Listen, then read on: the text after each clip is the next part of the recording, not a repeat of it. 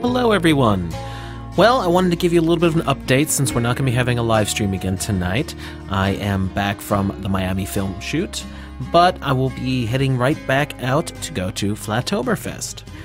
Another film shoot is going to be coming up probably next month, so I'm going to be having some more downtime there.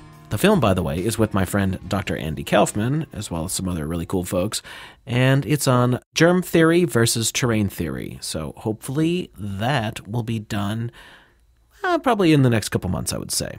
Today, we had to get two episodes for Crow 777 Radio recorded, so that has been time consuming to say the least, but they are really, really good, and those will be the episodes coming out this week while I'm away. By the way, the Great Baldini will be attending Flatoberfest, where I will be giving a presentation on the social engineering of manned spaceflight. If anyone attended the Dallas conference last year, I did a presentation on the science fiction programming of our worldview. This one is a little more specific, I would say. I wanted to really dial in on the 1950s and 1960s and really be able to demonstrate how things were dialed into our culture, especially pop culture, in almost every way to be a part of this space age that they came up with. And it's a very interesting thing, to say the least.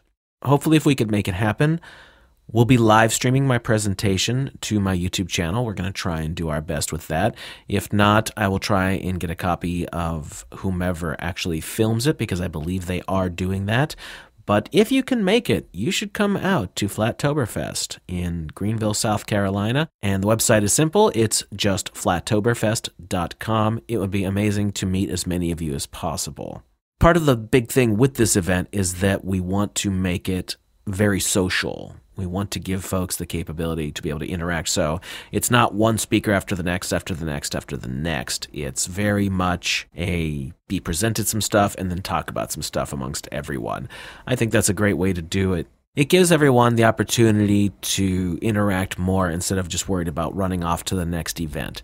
So, anyway, that's about it. Wayne did a new video today that I'm going to link for you that's about half an hour long called Mirror World, and I think you should check that out as well. And that's about it. I just wanted to give everyone a quickie on what's going on right now. As far as I know, I should be back home in lovely Covington, Louisiana, and have some time to work from my home studio before I'm off again going to do more film shooting for the documentary. So that's it from me. I hope everyone's doing great out there, and we'll see you soon.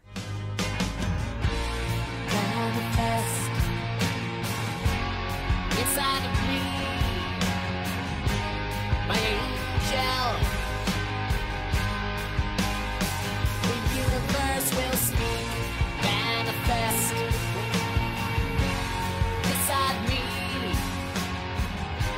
My angel. Belong to